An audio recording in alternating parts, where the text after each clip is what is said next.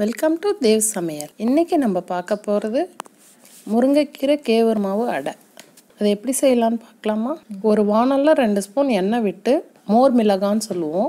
உங்களுக்கு காரத்துக்கு தகுந்த மாதிரி சேர்த்துக்கலாம். நான் இன்றைக்கி ஒரு ரெண்டு டு மூணு சேர்த்துக்கோங்க. அப்புறம் கடுகு அரை ஸ்பூன் சீரகம் அரை ஸ்பூன் பொரியட்டோன்னு கடலைப்பயிறு ரெண்டு ஸ்பூன் உளுத்தம்பருப்பு ரெண்டு ஸ்பூன் கருவேப்பிலை சிறிதளவு பெருங்காயம் ஒரு அரை ஸ்பூனு வரமிளகாய் ரெண்டு. பருப்பெல்லாம் பொன்னிறமாக ஆகட்டும்ட்டு வறுத்துட்டு ரெண்டு வெங்காயத்தை பொடியாக அரிஞ்சிருக்கேன். அதை போட்டு நல்லா சாட்டை பண்ணுங்கள் கொத்தமல்லி தழை சிறிதளவு. இந்த அளவு வெங்காயம் வதங்கந்தும் ஒரு ரெண்டு கைப்பிடிக்கு முருங்கைக்கீரையை போடுறோம். இந்த மாதிரி கையால் கொஞ்சம் கிள்ளி போட்டுக்கோங்க.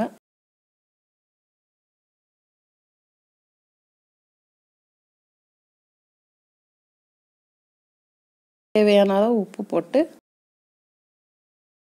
நல்லா வதக்கி சுவிட்ச் ஆஃப் பண்ணிவிடுங்க ஒரு பவுலில் மூணு கப் கேவரு மாவு போட்டிருக்கேன். தேவையான அளவு உப்பு போட்டு மிதமான சூடு தண்ணியை அதில் கலக்கணும்.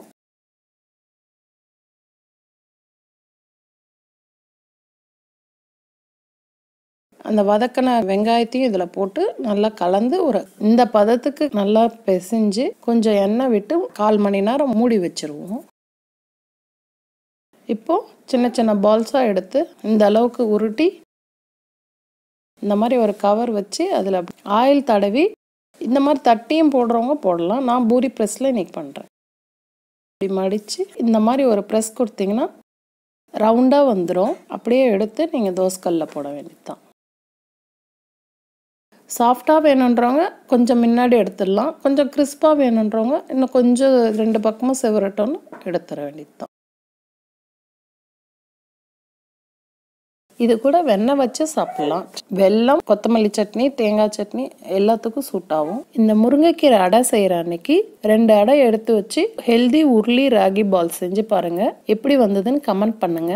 இந்த உப்பு காரம் இருக்கும் போது டேஸ்ட் நல்லா இருக்கு. ட்ரை பண்ணி பாருங்க.